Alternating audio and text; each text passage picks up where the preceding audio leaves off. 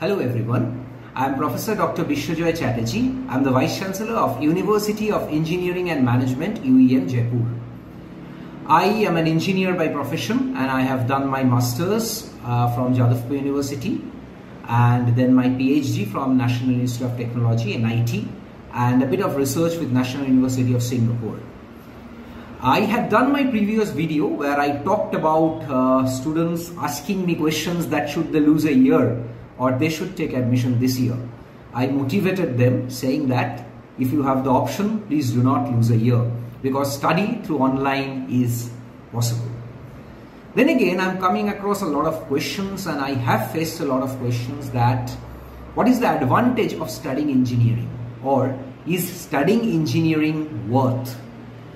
I would like to again tell with 100% confidence to all admission seekers, students, the guardians that if you are looking to opt for engineering, engineering has been a profession ever since the start of time to provide one of the largest number of jobs, whatever be the time. It has always provided a number of jobs more than any other field that I can remember and engineering has been providing a lot of jobs of late also and if you are talking about the current scenario current situation then nothing like engineering providing the maximum number of jobs till now if you are thinking where are the sectors where engineering does provide job I would like to say, you firstly do remember the IT sector. You know, when we are talking about now, about any sector providing a job, we generally categorize whether it's IT sector or it is a government sector or it is a core sector. I should not say government sector, I should say core sector. So IT sector and core sector. And then again in IT you can have the division of government or non-government and then in core sector also you can have the division of government and non-government. But when you are firstly talking about the IT sector, be it government, be it non-government, then what is the profession that firstly comes to your mind? Definitely it's engineering. The maximum number of jobs given to the engineer are given to the engineers by this IT sector be it IT engineers, computer science engineers, electronics engineers, mechanical engineers, civil engineer, electrical engineer. See, the IT sector serves all domains. They serve the mechanical domain, they serve the mechanical purpose, they serve electrical domain, they serve electronics domain. So they need all sort of engineers to be recruited in the IT to know the topic, to know the product and accordingly perform. So all sort of engineers, whatever is the nature of engineering are always recruited by the IT sector, which is one of the largest job providing sector in this entire world. So definitely this is a high opportunity for engineers to grab a job in the IT sector.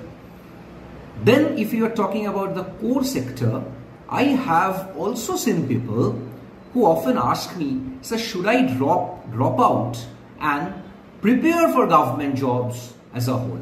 Like, should I stop studying or maybe I study any sector, go to any field and uh, my primary focus is studying for government jobs, preparing for government jobs. Again, I would like to remind you, if you are looking to work in the government, if you are looking to work in the government, then engineering again has got an edge over any other field, be it government, be it anywhere, but in government engineering again has got a age. Why should I say, why, will I, why am I saying that the engineering has got an age? The simple reason is that in engineering, through engineering, you are capable of getting a job which is possible to be acquired by any other sector if you are uh, if you are capable of getting that job if as an engineer again you are capable of getting the same job but as an engineer you have got some extra opportunities. Like you can be an assistant engineer you can be a senior engineer you can be a junior engineer which are all designated fields of engineering in the government sector. So government sector has got that advantage engineers have got that advantage for the government sector also. If I'm talking about my university point of view, I'm the Vice Chancellor of UEM Jaipur. I should tell that for the last two years, again, I have seen a tremendous boom in the engineering sector and I've seen many students grabbing huge number of job offers. I have seen in my university in the last to last year in 29 in last year sorry in 2019 I have seen a student grabbing seven job offers himself. One student acquiring seven job offers. I have seen this year in 2020 I have seen a student acquiring nine job offers in my university in Jaipur. And apart from that I've seen many students grabbing six job offers five job offers four job offers innumerable number of job offers grabbed by a single student a package of 40 lakhs was on offer in the campus for the students to be grabbed. That is the opportunity for an engineer. And if you are talking about the percentage in 2019 in my university in Jaipur, I have seen that 123.22% job was acquired by the student. Why am I coming to this in this figure of 123.22? Where from is this figure being deduced?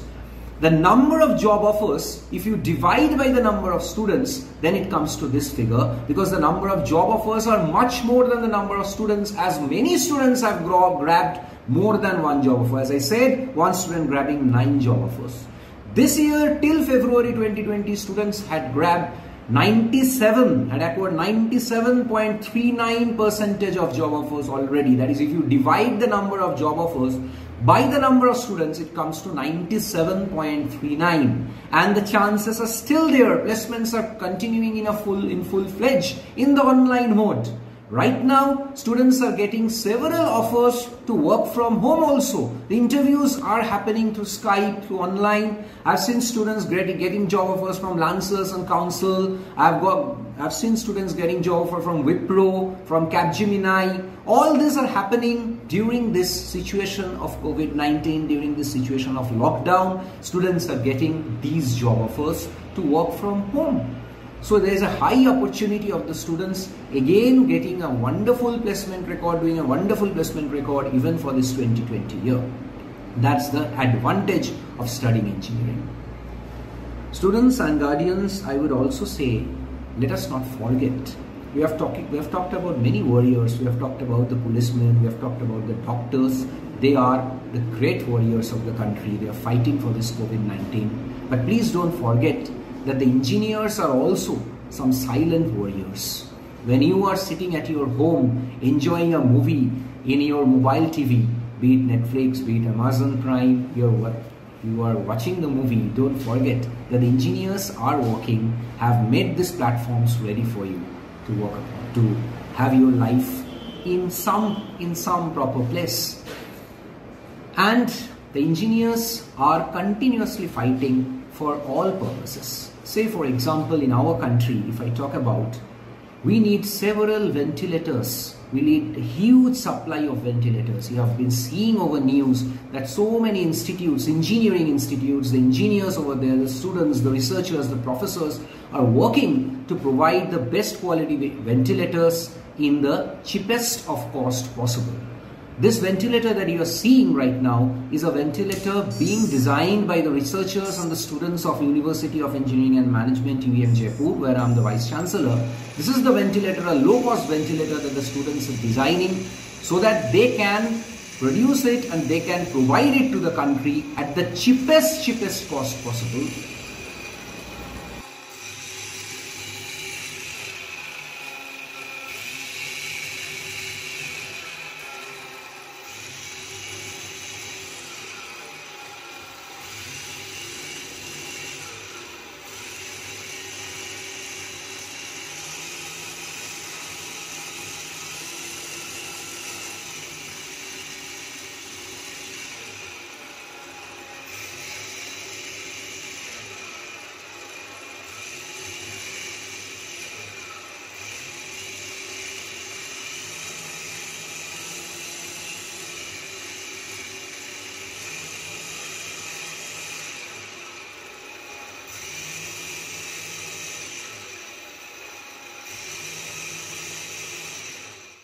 If you are talking about staying at your home, if you're talking about you're staying back home, you don't forget that the power engineers, the electrical engineers, they cannot stay at home. They are working day in and day out so that the power remains proper. There is no shortage of power in our country. They are continuously working hard. So the engineers are there to work hard again in this sector.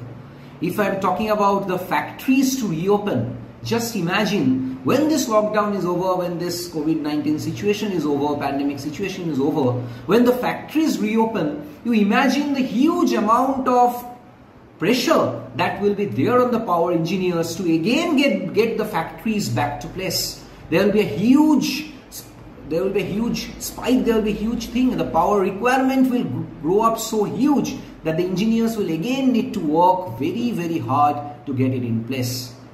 And you don't forget that we will need so many high quality equipments in coming future to provide, to account for the speed to produce the things, produce the goods, the equipments in a speed which such that the time that is lost is make up for. Remember that we have lost a huge amount of time. Now we need to make up for that by producing things at a huge rate. So the factories will need several sort of things. This you are seeing right now on screen is developed by the engineers of university, my university, UEM Jaipur, where you see this is a conveyor belt being designed by the students and the students are continuously, our university students, electrical engineering students are continuously developing things which actually will account for this high speed that is needed by the industry in coming future.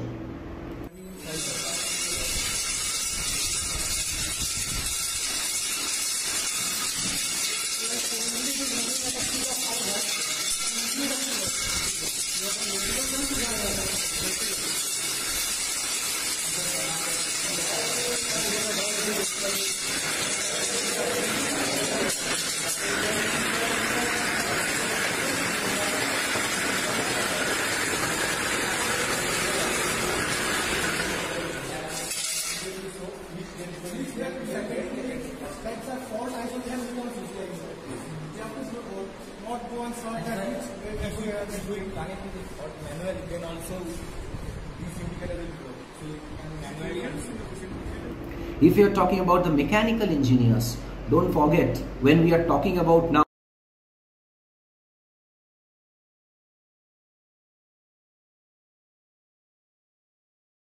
look forward towards electric vehicles. And we will look upon to the mechanical engineers to produce the electrical electric vehicles in a huge scale and in our university UEM Jaipur we are trying to convert several vehicles, this petrol diesel vehicles to electric vehicles so that we can provide it at a low cost.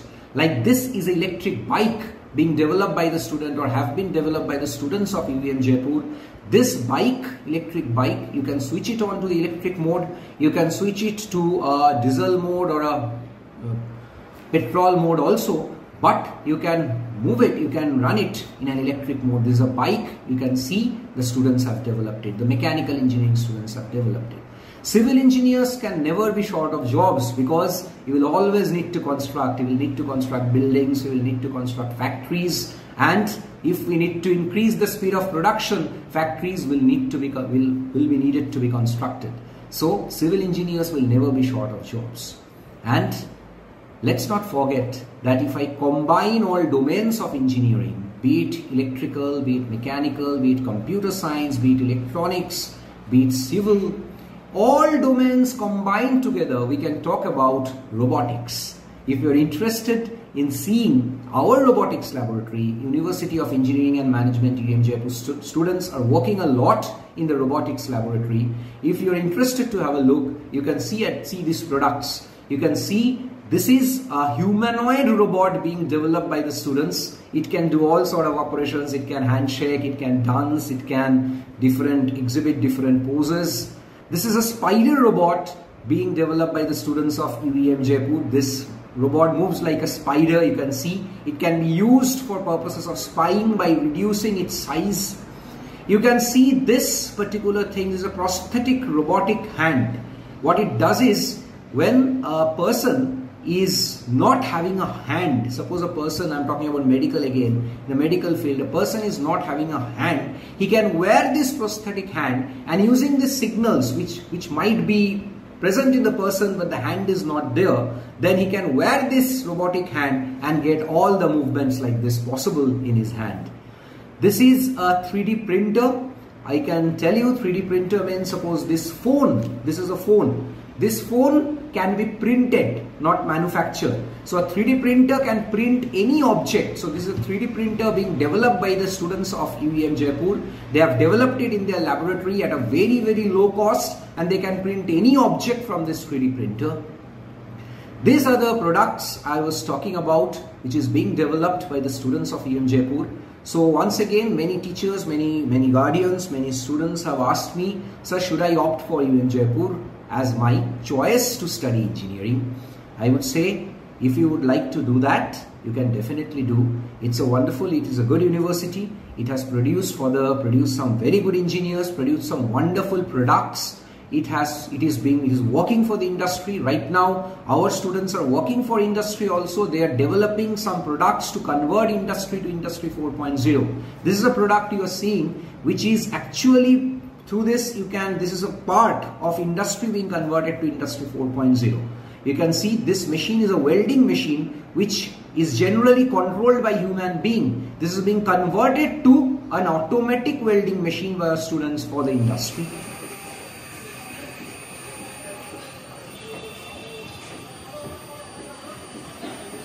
If you're interested, I've seen my students getting wonderful job offers as I've said earlier, wonderful percentage of job offers, very good quality jobs they have got. They are producing wonderful things for the industry, they're producing wonderful things for the factory. You can definitely opt for it. You are seeing a wonderful video, a 3D view of our campus. This campus has got around 11 buildings, including the workshops. There is a mechanical workshop, there is an electrical workshop, and including the hostel blocks there are around 11 buildings and the mess and everything.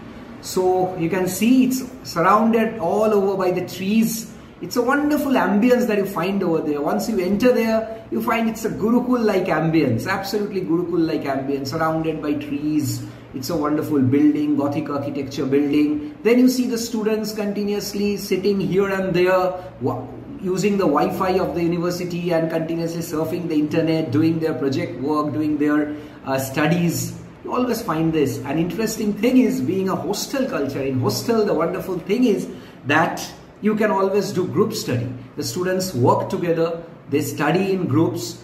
And I can tell you, I have stayed in this, I stay in this university at, at often and at several times I stay within the university premises and when I get up even at 2 o'clock in the night, I can definitely see some students working in the workshop. So that is the beautiful thing about a hostel culture. The teachers stay within campus. Any student who wants to meet a teacher anytime, he is always free to go and meet the teacher, ask the teacher's question. So it's a wonderful culture. A teacher-student uh, interaction is always there. A wonderful friendship is there between the students within the hostel. They enjoy their life and don't forget Jaipur is only 4 hours from Delhi. So the whole IT block, the core sectors who are residing or there in Delhi, they're always ready to come to Jaipur with a 4 hours drive.